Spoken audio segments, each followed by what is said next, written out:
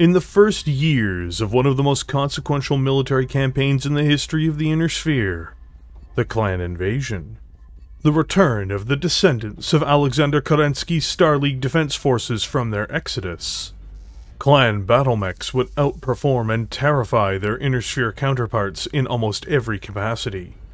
In terms of raw firepower, speed, armor, and technology, these war machines revealed the true backwardness of the Inner Sphere in a display of brilliance and brutality. One of the standouts from the very start was a mech the Inner Sphere would dub as being the Dasher. But its true name is one which represents much of its splendor the Fire Moth.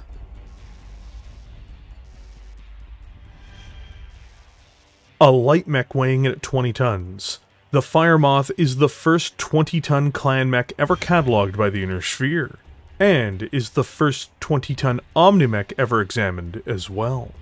When this first emerged, it brought with it, like many other clan machines, an air of wonder and terror for what it seemed able to accomplish. At the time, it was the fastest mech ever seen by the spheroids, though it would later be surpassed by other designs in both the Inner Sphere and the clans. It is the forerunner and the inspiration for many designs just like it. A mech with blinding speed, and purely defended by it, but packing reasonable weaponry in order to achieve backstabbing attacks, to get out of trouble, or recon ahead and be able to return to friendly lines, even when pursued by dedicated anti-scout mechs. Before we delve further into its origins, one interesting note when it comes to clan manufacturing of battle mechs is it doesn't really reflect how the Inner Sphere does it. The Inner Sphere's mech manufacturing is more or less run by megacorporations with local branches. These then produce the various battle mechs affiliated with different houses. Whereas with the clans, they don't necessarily do this. There really isn't anything proprietary among the clans. Technology and designs are either owned and produced by a clan through reverse engineering or winning it by a trial, or they aren't. So, the Fire Moth itself doesn't really have a manufacturer in the same way that, say, a Locust would.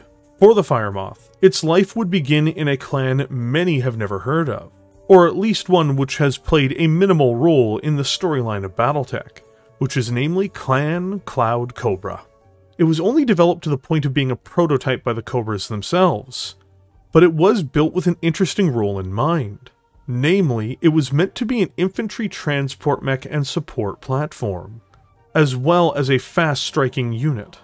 It came equipped with dedicated infantry transport pods. In fact, in its original configuration, these pods were mounted on the arms, creating the awkward arm assembly that we see today. This prototype, however, was abandoned by the Cobras, who found its military application to be limited, and due to failures regarding the infantry pods, as well as with the MASC consistently failing at a higher rate than normally acceptable. Outside of normal clan interactions, as most trades of technology are truthfully done by trials, the Cobras would trade away the Fire Moth design, in all of its perceived failure, to the Ghost Bears, in essence, washing their hands of it. But where the Cobras saw failure, Clan Ghost Bear saw opportunity. They would adjust its arm mounts to be, in fact, higher on the mech, which apparently helped solve some balancing problems the Ghost Bear test pilots identified with the design. This, funnily enough, allowed the Fire Moth to perform its original role of infantry support even better, despite the loss of the infantry pods to the mech as the newly developed elemental units found easy purchase with locking into position on these portions of the mech, giving them the ability to ride into battle on the arms of this mechanical nuclear powered chariot with the grace the Cobras had originally imagined. Elementals, in fact, almost never fall off of the Fire Moth despite its immense speed due to the arrangement of these arms reducing accidents and injuries while riding aboard the Fire Moth to near zero, outside of being fired on, of course. This means that the Fire Moth fulfilled the promise which the Cobras had designed it for. The Ghost Bears, before the end of the 29th century, would be producing these fast, battle armor supporting killers, and would be putting them to great use in clan trials against harsh opposition. Interestingly, though, outside of its use within Clan Ghost Bear, the Firemoth is mostly considered to be unsuitable by other clans, who view its support role with a dismissive lens, and don't appreciate some of its worst qualities. Entertainingly enough, the Firemoth's role is only improved with the decline of Zellbrigen in battles between the clans in the Inner Sphere, and later between the clans and other clans, giving it a combined arms flair that might be hard to match. It was never designed as a dedicated mech hunter, it was designed for speed and to support battle armor, as well as to taxi them from place to place, offering them protection through its immense movement and speed, as much as the function of ferrying them. In fact, the Firemoth by Ghost Bear's equation is so successful that they have opted to continue it and shirked away from doing wholesale new light mech designs to replace it, unlike many of their fellow clans. And they have done this all the way into the ilClan era, where it is still one of their primary light mechs. For the Inner Sphere, the Dasher, by comparison, outperformed almost any mech they could reasonably put against it, at least upon the initial invasion. When it scouted, their own anti-scouts couldn't keep up with it. When they engaged it with their anti-scout battle mechs, they would be outgunned, outmaneuvered, and overmatched in rapid succession despite its flaws. Only with later designs catching up with it were its full weaknesses laid bare and put on display for the Inner Sphere. This means it is used mostly in its intended role, and that is a role that it does exceptionally well. Though they would see use in every clan during the invasion to some degree, Firemoths are largely only used by Ghost Bear in any real numbers. And they are only built by them as of the time of the clan invasion, and all the way into the ilClan era. During this era, both Diamond Shark and Clan Wolf would use them as infantry support mechs, seeing the value the Ghost Bears recognized, even more so than its original creators, the now distant Clan Cloud Cobra.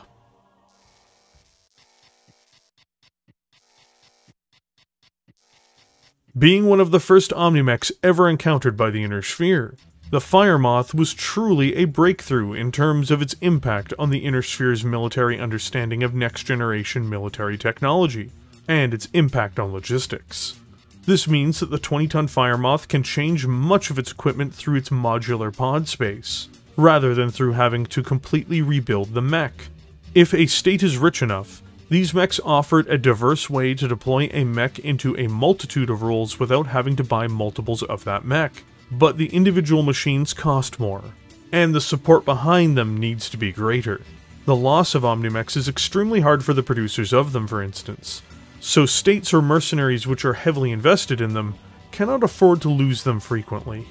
What this does mean for the Firemoth is that its base platform is comprised of its engine, base heatsinks, internal structure, and armor, but it has dedicated space for all other components in essence.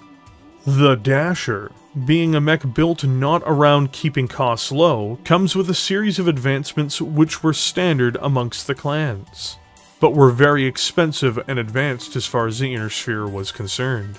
First, it has to use Clan Endosteel internal structure, reducing its internal structure's weight by 50%, making it 1 ton. Unlike Inner Sphere Endosteel, Clan Endosteel has a much smaller footprint in regards to its internal structure as well.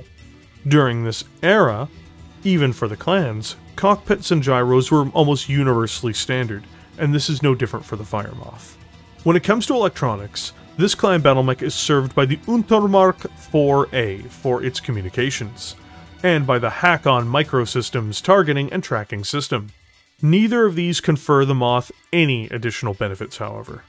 When it comes to quirks for the advanced rule system, the Dasher is well served. It has the narrow profile quirk, making it harder to hit with ranged weaponry as to represent its small size, which is one of the best attributes in the game. It also comes with the overhead arms quirk, helping its arm-mounted weaponry ignore partial cover benefits. The most impressive thing about the Firemoth at its introduction, and for much of its military history, is its blinding movement. It is even what generated the name which the Inner Sphere dubbed it. that being the Dasher. To gain this immense speed, it has a comparatively enormous 4.5 ton Firebox 200 XL engine installed into its frame, taking up almost 25% of the entire weight of the battle mech in this one component. To add to this, it has a MASC as well, allowing it to make short bursts of enormous speed.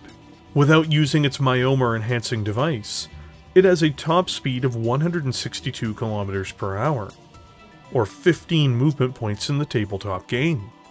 When it uses its MASC, it has a top speed of an insane 216 km per hour, or 20 movement points in the tabletop game. This means without engaging its MASC, when moving over relatively favorable terrain, the Moth can easily acquire a terrifying plus 4 to hit movement bonus from just moving over 10 hexes. When engaging its MASC, if terrain permits, the Fire Moth can reach a defensive bonus of plus 5. And when using the advanced rules, including its quirks, these are both enhanced by 1 when being targeted at range. This means that when a mech wants to shoot at the Fire Moth at medium range, with a standard pilot, they would need 11s without it using its MASC and while benefiting from narrow. And that's if they didn't move absolutely terrifying. This speed is the core of the entire mech's design. It's what allows it to move elemental forces with grace throughout the battlefield. This is what allows the Fire Moth to backstab heavier adversaries as well. In addition, it's also what allows the Fire Moth to outfight and overmatch Inner Sphere light mechs. And it's what protects them from heavier machines and other reprisals. Speed is life for this battle mech. Make no mistake. Without it, it is nothing. As an interesting final aside, piloting skills are immensely important for the Dasher in its survival, especially if it is fighting over paved ground, or slippery surfaces like ice. One failed piloting skill roll could lead to disaster, or the absolute destruction of the mech. This means while one might imagine its speed is only a strength, make no mistake, when misused in the wrong environment, it can be a horrible weakness which could outright annihilate the mech and its pilot. The Dasher comes with a base of 10 double heat sinks. This gives it a cooling of 20 every turn, and there is just not really much else it can do with the tonnage limitations it has. It is interesting to note that the engine is not big enough to carry all of the heat sinks already on board despite its immense size. So some of these double heat sinks are inside of the mech's critical structure, this is absolutely fine, however, as it has more than enough criticals to accommodate this. The Fire Moth, also, will run cool or run hot depending on the pod space application, much more than just being decided by its own independent heat management. Physical defense is where the single biggest compromise is made for the Fire Moth. It has only 2 tons of Clan Ferrofibers armor. Now, Clan Ferrofibers is so effective when used in this way that it almost receives the same amount of protection as 3 tons of armor, which is 38 points of armor. This means it's comparatively defended to most 20-ton inner sphere battle mechs from earlier eras, but they aren't particularly durable themselves. The Fire Moth can be taken down by a single hard hit strike to the center torso, and will be penetrated by anything that supersedes 5 damage. A single Gauss rifle making a direct hit is the end for this mech. A single AC-20 round hitting the side torso is again the end of this mech in its entirety. The Firemoth is not a mech designed for direct confrontations with heavier battle mechs. It's just not. Its real defense, again, is its speed, and it can be used to gain immense to hit bonuses as to prevent fire from hitting it in the first place. But should that fail, it will be quickly dismembered and destroyed. Despite its huge engine, and other components on board which make up much of its valuable tonnage, the Firemoth comes with a proportionately enormous 6.5 tons of pod space to dedicate to other systems, including weaponry. Still, despite this comparative abundance of pod space, compared to its overall weight, its space still needs to be used wisely. In terms of the volume of configurations as well that use this valuable tonnage, there is an abundance. As a result, I will not be covering all of its configurations, as there are 16 official configurations as of the making of this video, and I instead will just be picking a few of them which I find interesting to talk about here in this video.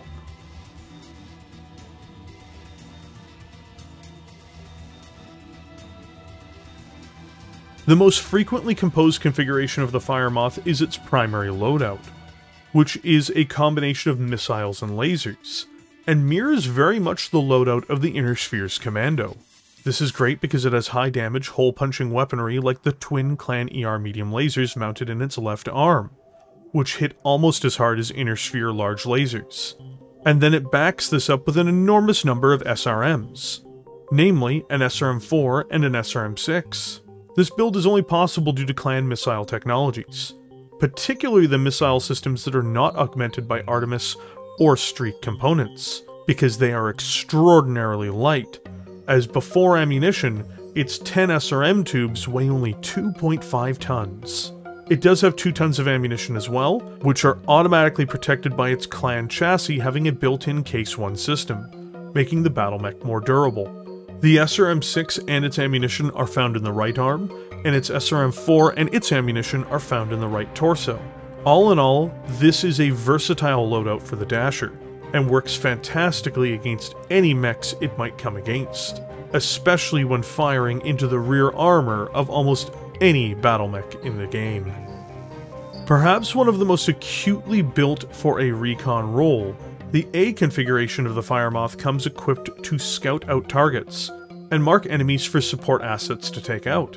The A's only offensive system is an SRM-4 Streak with 1 ton of ammunition mounted on the right torso.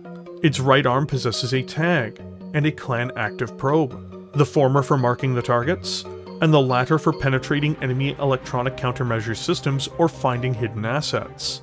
It is then further defended with an anti-missile system as well. Overall, it does a great job at what it's meant to do, but is dangerously undergunned should it run into any kind of real resistance. Still, ideally this won't be running into battle alone, and it will either be accompanied by elementals riding on top of it, or by other battle mechs there to take the heat off of this recon asset.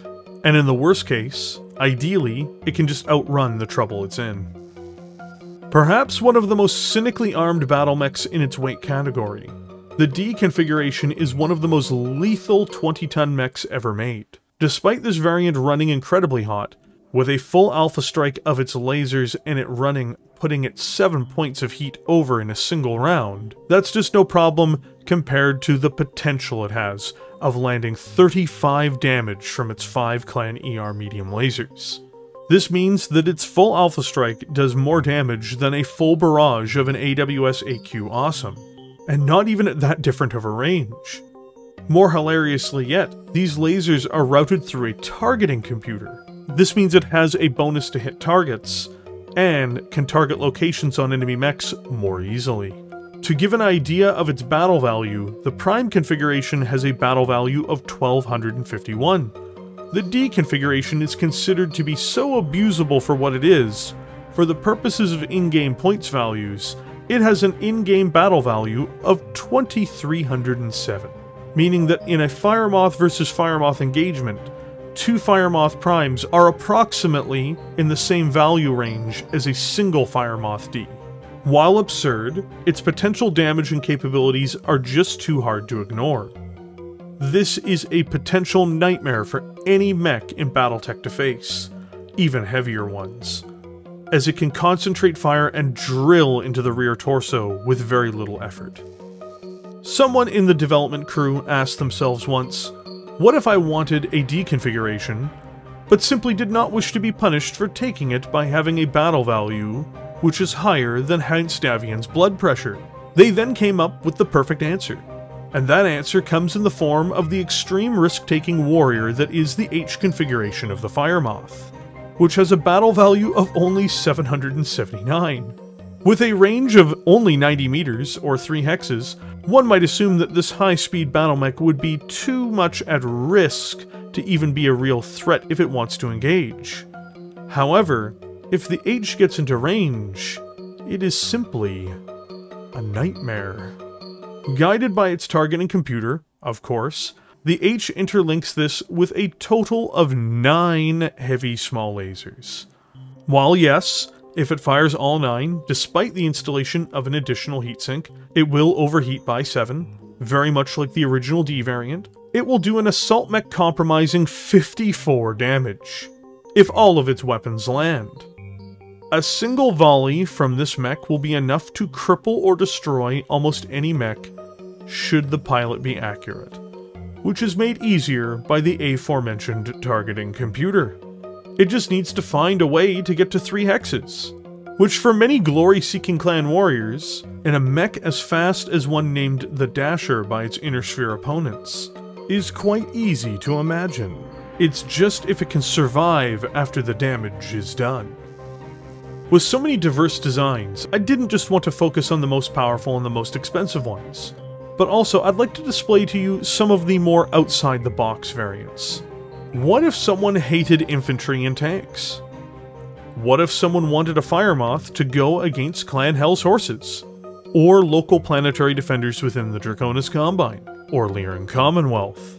Well, the answer to this is the J variant, which uses an assembly of powerful weapons to get the job done. First, it comes equipped with twin ER small lasers in its left arm for dealing with most opponents. These are generalist backup weapons, even if their range isn't superb. Then, to back this up, it has an ER small pulse laser in the same arm, allowing it to strike more accurately against infantry and at reasonable ranges. It also can back up the ER small lasers. Finally, its main weapon, mounted in the right arm, is a terrifying clan-made plasma cannon, with 10 rounds of ammunition. The plasma cannon generates damage through generating heat on a target. So while plasma rifles do 1 to 6 points of heat to mech targets and 10 damage, plasma cannons do no damage to the outside armored plating on their own, and instead do 2 to 12 points of heat to an enemy target. Vehicles and infantry, however, take raw damage from these attacks, which will burn those within the vehicle alive, dealing 3d6 damage to infantry and vehicles terrible.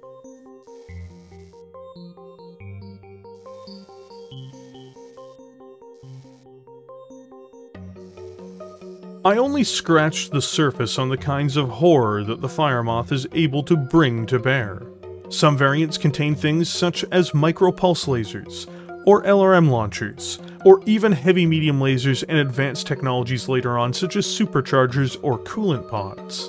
There is an abundance of firepower, a volume of versatility, and an assortment of arrangements that make the Fire Moth something that is just too dangerous to ignore. Its speed and its threat capabilities are just too high. And when used well, either with being bold and allowing fortune to determine your fate, or by being coy and reserved, the Fire Moth is one of the most dangerous things that might appear on the tabletop. Some commanders don't even realize it, either by having been knocked out by a lucky hit, or from using them in the wrong environment, or not supporting them, or striking at the wrong time. They have had bad experiences which may make them undervalue the Fire Moth. The Fire Moth requires finesse in order to achieve the results it can deliver. It is only further enhanced by using them in concert with elementals. A terrifying team-up would be a star with twin units of elementals riding twin Fire Moths being deployed ahead of a formation, and then being used in tandem to corner, harass, and pin down enemy lights and medium targets, while being supported by a fifth mech. Make no mistake, this battle mech, while being a glass cannon, is one of the most dangerous battle mechs to anyone not prepared for it. Pulse lasers, targeting computers, and good positioning are its bane. But even then, it can wait for the right moment to strike, to slip past the defenses like a blade between ribs, and to deliver a mortal wound to an enemy force. It's little wonder why Ghost Bear never moved to replace this monster. They are the main ones who see its potential for what it is. And the Dominion, for most of its history, has used it wisely to their advantage in the battles against enemies within their territories, and the enemies without, such as the Draconis Combine, Clan Wolf, Clan Jade Falcon, and Clan Hell's Horses. The Fire Moth itself even gave Clan Seafox the idea of creating a new battle mech to sell to other clans in Inner Sphere forces, namely the Dasher 2. Even Ghost Bear would buy some of these non-Omnimechs in order to fill out their own ranks, but they never came close to replacing the first and true original, the Fire Moth. When this speed-based abomination among light mechs puts itself into overdrive, and dashes into the fray. Misery will follow in its wake. A wise commander will know their enemy's true strengths in an engagement, and anyone facing down the Fire Moth should know it for the real danger that it is.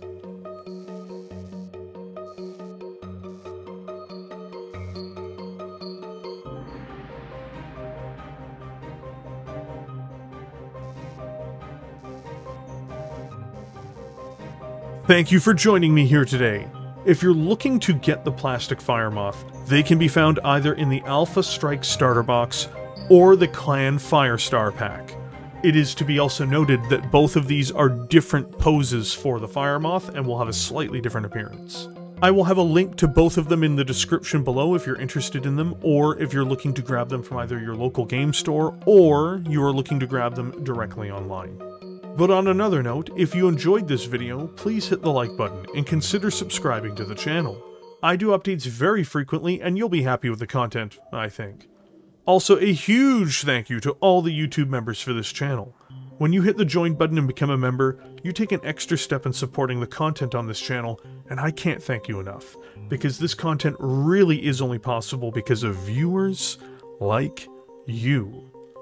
And with that, I will catch all of you in the comment section below.